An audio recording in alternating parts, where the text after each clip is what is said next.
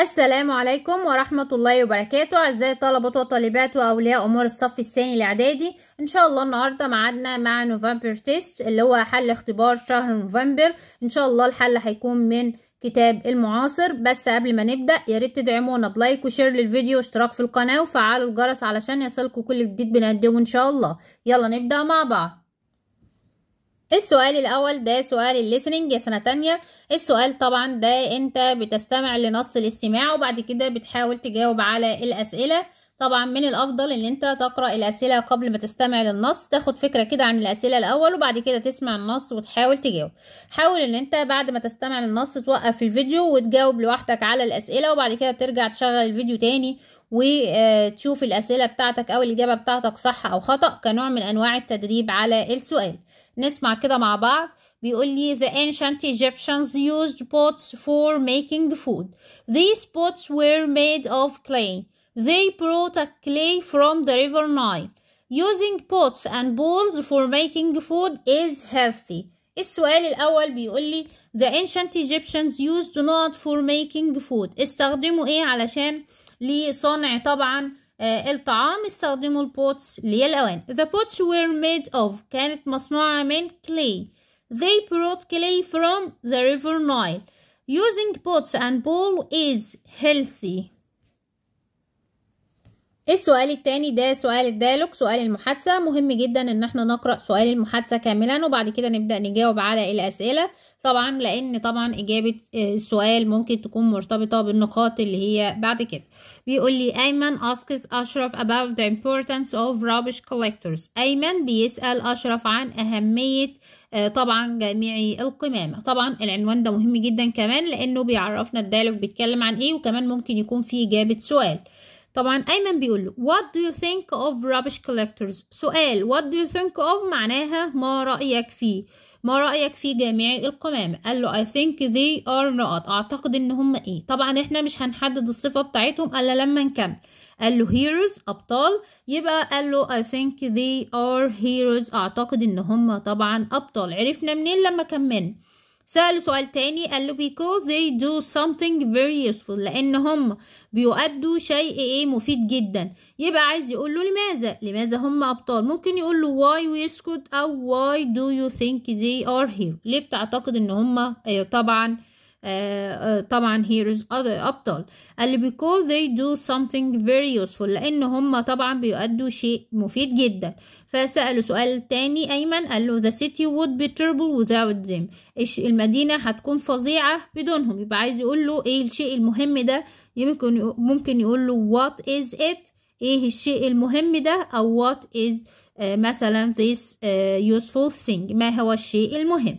Are street cleaners important؟ هل عمال النظافة في الشوارع طبعا مهمين؟ يقول له طبعا yes of course نعم بالطبع أيوة هم بالطبع مهمين What should we do to help them؟ ماذا يجب أن نفعل لمساعدتهم؟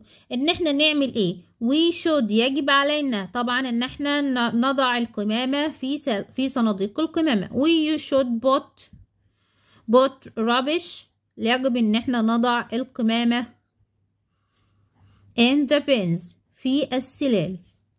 ده طبعا طريقة إن إحنا نقدر إن إحنا نساعدهم بيها. السؤال اللي بعد كده؟ ده قطعة الريدنج طبعا إحنا بنقرأ القطعة اولا وبعد كده بنجاوب على الأسئلة. بيقول لي the ancient Egyptians had a great culture and great history. القدماء المصريون كان لديهم. ثقافة culture ثقافة. ثقافة عظيمة وكمان تاريخ عظيم.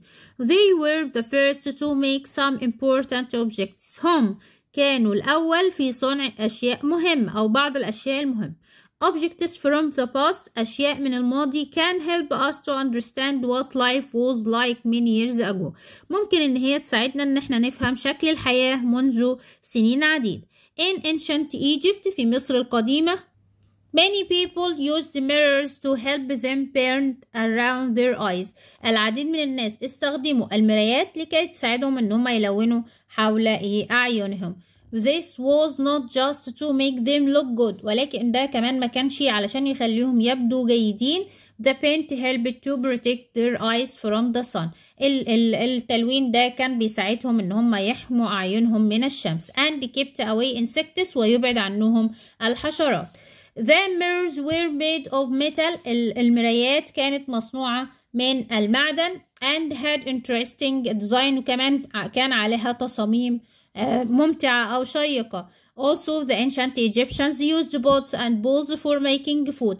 أيضا القدماء المصريون استخدموا الأواني واللي هي ال ال السلطانيات for making food لصنع الطعام.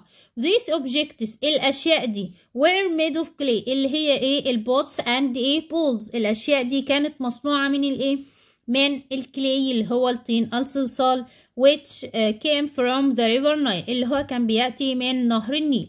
On the other hand على الجانب الآخر the ancient Egyptians like playing games uh, like Senet القدماء المصريين كانوا بيحبوا لعب الألعاب مثل لعبة السنت. Senet boxes have 30 squares. صناديق السنت كان فيها 30 مربع. This box is made of wood. الصندوق ده كان مصنوع من الخشب. And is about 3 uh, 3500 years old. كان حوالي عمره حوالي 3500 سنة. Some people didn't have Senet boxes. بعض الناس ما كانش عندها صناديق السنت. But they still played the game. ولكن هم ما زالوا بيلعبوا اللعب. They drew the squares on the floor. بيرسموا طبعا كانوا بيرسموا طبعا المربعات على الأرض.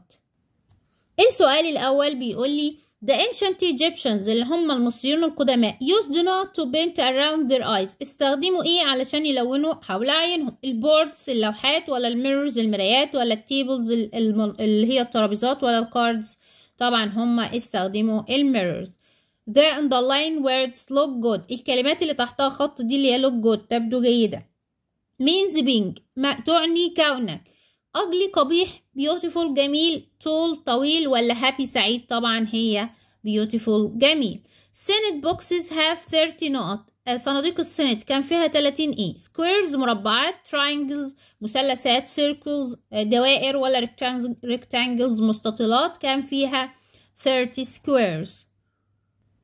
السؤال اللي بعد كده بيقول لي what is the main idea of the passage? إيه الفكرة الرئيسية في القطعة طبعا السؤال ده مهم وطبعا سؤال سهل وطبعا سؤال مضمون لأن طبعا إحنا ممكن نكتب أكتر إجابة المهم إن هي تؤدي المعنى في القطعة طبعا القطعة كلها بتتكلم عن الأشياء من الماضي ممكن أقول إيه objects from the past أشياء من الماضي أو ممكن أقول ancient the ancient Egyptians objects اللي هي الأشياء القدماء المصريون Why do you think people draw squares on the floor؟ لماذا تعتقد انهم الناس كانوا بيرسموا أو بيرسموا المربعات على الارضية ليه طبعا because they didn't have scenic boxes اهي because they didn't have Senate boxes لأن هم ما كانش عندهم صناديق. السنت لذلك هم كانوا بيرسموا المربعات على الايه الارضي what do what do the underline words these objects refer to? طبعا ال ال الأشياء اللي هي these objects دي بتشير إلى إيه؟ بعد كده بيقول لي what do the underline words these objects refers to? طبعا الكلمات اللي تحتها خط اللي هي these objects بتشير إلى إيه؟ إحنا قلنا إن هي كانت بتشير إلى ال pots and bowls pots and bowls الأواني آه والحاجات اللي هما كانوا آه بيستخدموها للطبخ. بعد كده سؤال تشويس سؤال مهم جدا. إحنا بن طبعا بنقرأ السؤال وبعد كده بنجا... بنفهم السؤال وبعد كده بنقرأ إيه الاختيارات الموجودة عندنا ونحاول إن إحنا نترجم الاختيارات طبعا ونعرف معناها وبعد كده نختار الاختيار الصحيح. And not helps people who are poor or don't have a home. إيه اللي بتساعد الناس اللي هم فقراء أو ليس لديهم منزل؟ هي إيه اللي بتساعدهم؟ ال countryside الريف ولا charity الجمعية الخيرية ولا ال nature الطبيعة ولا ال school المدرسة؟ طبعا اللي بتساعد هي ال charity الجمعية الخيرية. عرفنا منين لما ترجمنا كل الاختيارات الموجودة عندنا؟ عرفنا إن دي الإجابة الصحيحة. A terrible event حدث فظيع such as an earthquake مثل الزلزال أو الهزة الأرضية.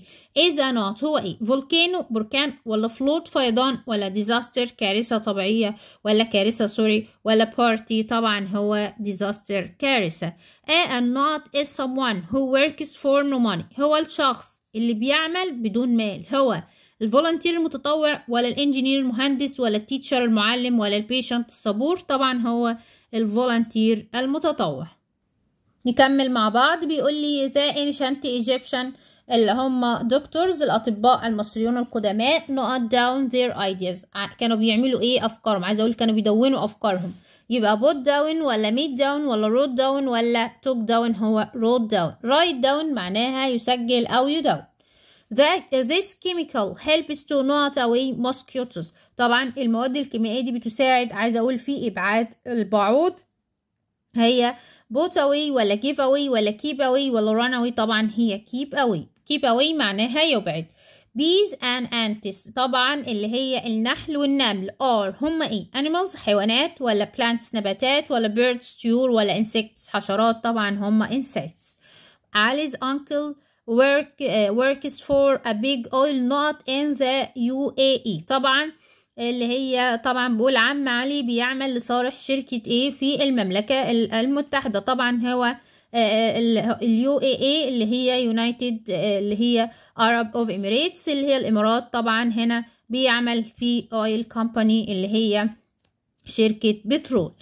طبعا اليو اي اي دي اللي هي يونايتد Arab of Emirates طبعا اللي هي المملكة الإمارات المتحدة.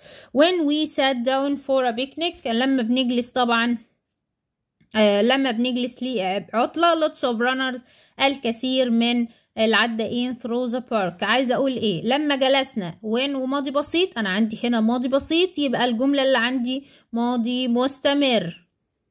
يبقى أنا هنا were running. حدث كان مستمرا عندما قطعه حدث آخر. They moved to a bigger flat a year later. طبعا هم انتقلوا إلى شقة أكبر. بعدها بعام I was born. عايزة أقول إيه؟ while ولا ago ولا when ولا for ولا from طبعا when I was born عندما ولد. My grandfather used to not football when he was young. عايزة أقول جدي اعتاد أن يلعب كرة القدم عندما كان صغيرا. إحنا قلنا أن used to اعتاد على فعل شيء في زمن الماضي ولكن لا يفعله الآن. و used to بيجي وراها ال infinitive اللي هو الفعل في المصدر بدون أي إضافات يبقى used to play. بعد كده سؤال ال correct بيقول لي my uncle used to be a firefighter but now he is a police officer. عمي اعتاد إن هو يكون firefighter رجل إطفاء ولكن الآن هو ضابط شرطة. إحنا قلنا إن قاعدة used بيجي معاها to وال infinitive يبقى used to be. Dina not use give money to charity but now she does. عايزة أقول إن هي ما كانتش متعودة تعطي أموال للجمعية ولكن دلوقتي هي بتعمل. إحنا عايزين ننفي used to يبقى بننفيها ب didn't use to. Didn't use to لأن إحنا هنا ما عندناش to as كريم take photos of the animal. He lost his phone. عايزه أقول بينما as هنا معناها بينما بينما كريم بيلتقط صور للحيوانات. فقد التليفون بتاعه. حدث كان مستمرا عندما قطعه حدث آخر. طبعا مهم جدا نراجع على الجرامر آه الوحدات. يا سنة تانية جرامر الوحدات هو اللي هيفيدنا في حل سؤال الكوريكت طبعا هنا عندنا كريم مفرد يبقى الماضي المستمر was were وال verb ing بستخدم was وعندي فعل take بينتهي بال e بنحذف ال e ونضع ال ing while منى was playing tennis she hurts her arm. عايزة أقول بينما منى بتلعب تنس أذت دراعها. يبقى she hurt hurt بس. بعد كده بيقول لي write an email of 90 words to your friend خالد. اكتب ايميل من 90 كلمة لصديقك خالد. يبقى هتقول to مين to خالد. Uh, to tell him about what we should do to help the environment. لتخبره عما يجب أن نفعله لمساعدة البيئة. يبقى ده السبجكت. وأنا بقرأ كده لو جالي ايميل في الامتحان أكتب كده اصنفها أقول على خالد أكتب عنده سوري يور تو آه تو. أيوه لأن لصديقك خالد أجيب عند الموضوع اكتب عنده السبجكت أصنف كده. Your name is علي اسمك علي ويور ايميل ادرس از علي at gmail dot com يبقى هيبقى from من علي. وصديقك طبعا خالد at gmail dot com يبقى برضو ده هيبقى to. إحنا عندنا الإيميل طبعا العنوان بتاعه بيبدأ ب to الإلى و from من؟ وال subject اللي هو الموضوع الإيميل بتاعي.